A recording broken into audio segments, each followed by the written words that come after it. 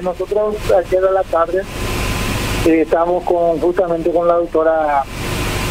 eh, en cuestión, ya no se le nombró, entonces también emito, eh, omito esa, esa parte, eh, justamente desde las 3 de la tarde, un poco, un poco antes, teníamos un paciente grave por COVID, un paciente masculino de 35 años que estábamos tratando de encontrar un lugar para una, un lugar de mayor complejidad porque el trabajo de, de auxilio que necesitaba ya no, ya no íbamos a abastecer y estaba, estábamos trabajando en eso, eh, telemáticamente, telefónicamente buscando lugar para ese paciente y cuestión de 20 minutos después ya me llega el video viral eh, de, esta, de, de este influencer que, que, que tanto en, eh, en los teléfonos de, de todos los paraguayos, ¿verdad? Y aclarar un poco y agradecerse el derecho a réplica que me estaba dando la institución, porque es normal la verdad que decirle que ese paciente llegó a las 3 y 10 de la tarde, eh, la paciente con acompañado a sus, sus dos hijos y eh,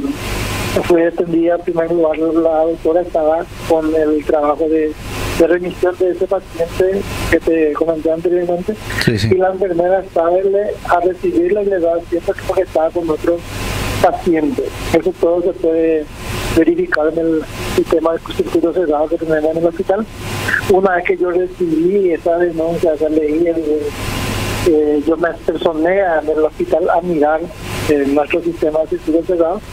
y verifico la situación, me doy cuenta de que es como me refiere la, la enfermera que la atendió, que le dijo amablemente que espere un rato. Eh, la persona llegó caminando, eh, hablando, hablando, incluso se le cae un celular, se agacha alta, eh, no, no nos percatamos que esté eh, mostrando un signo de alarma o signo con, con a, poco de, de, de, de convulsionar como refiere el video su hijo. Eh, una persona que entra caminando no está muy lejos de, de esa situación y eh, entran, tardan como 40 segundos, 42 segundos y vuelven a retirar. No se les llegó a tomar los signos vitales de la enfermedad que tenía que hacer su trabajo y unos 20 minutos después ya con el video en mano. Entonces, eh, lo que tengo, puedo decir es que es totalmente falso la acusación, puesto que eh, la persona iba a ser atendida, iba a ser atendida de acuerdo a la, la, la porque que, que necesitaba, eh, se ocurría eh, en ese instante, además de lo que yo te había comentado de un paciente, que tenemos todos los screenshots, también las eh, cruces de llamadas que estamos haciendo para poder ubicar a este paciente masculino de 75 años para remitirle y, y cosas que logramos también y se puede observar la salida de la, de la ambulancia de, de un Paraguay para remitir y derivar a este paciente. Exacto. Bueno, eh, y ahí nomás quedó el tema. La, la, la paciente, que en este caso, que es la madre de, de Fabio, no, no volvió para, para una consulta posterior. No, tampoco recibí ninguna queja formal de parte de ellos, que es lo que correspondería Que la denuncia se haga a través de, de los canales pertinentes para que se pueda realmente, con las dos autoridades, podamos realmente tomar cartas en el asunto y poder castigar o poder eh, poner orden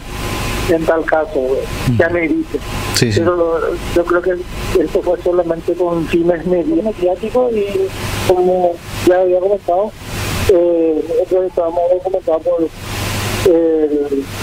los videos de chiquitos